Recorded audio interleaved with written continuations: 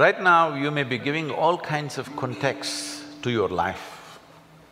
But essentially, what you call as my life right now is just a certain combination of time and energy.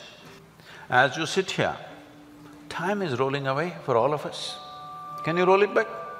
Yesterday was not fruitful, so I'll roll it back. Can you? It's rolling away for all of us. As we sit here, what is ticking away here is not the clock. What is ticking away is our life, isn't it? So it's a certain amount of time. And that time, nobody can manage because it rolls at the same pace for everybody. You do something, you don't do anything, you sleep, you're awake, you're happy, you're unhappy, do whatever the hell you want, it just keeps rolling mercilessly, isn't it? So there is energy that you call as life. This, you can pitch it at different levels. If you're like this, if you're like this, twenty-four hours feel like thousand years.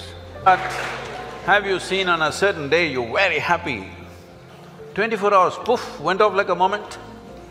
Yes or no? So, time is a very relative experience in individual subjective experiences. If you're joyful, if you live hundred years, it feels like a few moments, it's gone. Only miserable people will have a long life. but what possibility this carries? So what you need to manage is your energies, because life is a certain amount of energy, it's not limitless but it can be enhanced. If you function at one level of energy, what you do in ten years' time, if you function at a different level of energy, the same thing you can do in one year's time. So if both people live for hundred years, in terms of impact and profoundness of experience, one has lived for a thousand years, another has lived for hundred miserable years. So this is all you can do. You may think right now, engineer, this one, that one, these are all limited contexts you're setting for yourself. Fundamentally as a life, it's just time and energy, isn't it? The question is what you make out of it. Do you want to make something out of it? There's no compulsion you have to make something out of it. When I say making something out of it is not a social phenomena I'm talking. What should you become in the society? That's not what I'm talking.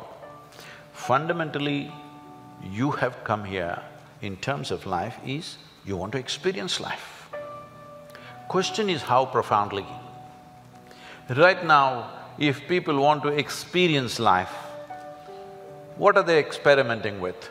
They will experiment, not this, this. yeah, yeah, I know, I know you guys. Or they'll experiment this, or they'll experiment something else. What they will experiment is how to down your faculties. Do you believe you can enhance life by lowering your faculties? Hello? If you want to enhance this life, you must super enhance your faculties. That's the only and only way you can enhance this life. You cannot lower your, lower your faculties and think your life is getting enhanced. What kind of stupidity is that? Simply because it makes you little like this. I can make you feel like this all the time, how's that? No substance, I'm always like this only. Never touch a substance but fully stoned all the time. Because I want you to understand this, the greatest chemical factory on the planet is here. If you are a good manager of this, you can create any experience that you want from within and also heighten your faculties. If you're having an experience, even to experience that, your faculty should be heightened, isn't it? So I'm asking, how are you managing your system? What have you done? We gave you such a sophisticated machine. Have you read the user's manual at least? no. Blindly do this and then you think pumping something is going to make this better? No. Believe me, the only and only way you can enhance this life is that your faculties are super bright. The way you see, the way you hear, the way you smell, the way you taste and the way you touch. If this is enhanced, is life enhanced? in many ways. There is much more to it, but I'm saying from what you know from your experience. Suppose you could see twice better than somebody who's sitting next to you, is your life enhanced? Hmm? If you could taste better than other people, is life enhanced? If you could feel better, is it life enhanced? If you could hear better, is life enhanced? On this level you understand this, but there are many other dimensions of human faculties. If you enhance this, if you sit here, you will be blissed out simply sitting here. So, about what is the end game? If you had everything, what would you want?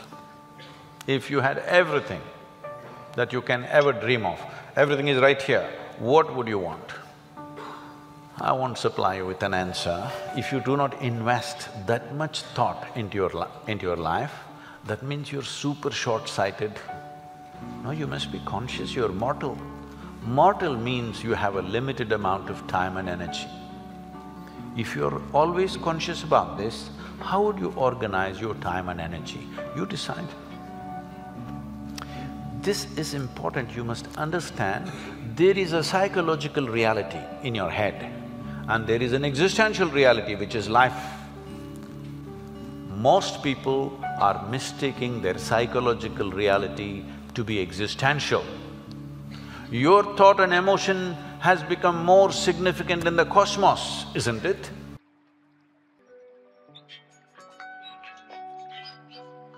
Science today is recognizing there is something called as Akashic intelligence. That is space empty space has certain intelligence. Whether this intelligence works for you or works against you will determine the nature of your life, whether you are a blessed being or one who is going to be freaked and buggered around for the rest of your life. It simply depends on that. How this Akashic intelligence behaves with you for no reason, people are being hammered around by life, isn't it? For no reason, some people seem to be blessed with everything. It is not for no reason. It is your ability, either consciously or unconsciously, your ability to be able to get the cooperation of this larger intelligence which is functioning. It's not your butt, it is the Akash which is holding you in place. It is the Akash which is holding this earth in place. It's the Akash which is holding the solar system in place. It's the Akash which is holding this galaxy in place. It is the Akash which is holding the whole cosmos in place. I can teach one simple process, which anyway half of you will not do always. You do this much. After the sunrise, before the sun crosses thirty degrees angle, once look up at the sky and bow down for holding you in place today. After it crosses thirty degrees, sometime during the day, any time, look up and bow down again. After it sets, once again look up and bow down. Not to some god up there, just to the empty space for holding you in place for today. Just do this, life will change dramatically. You consciously do this three times a day. If you get cooperation from this, life will happen in magical ways, in absolutely miraculous and fantastic ways.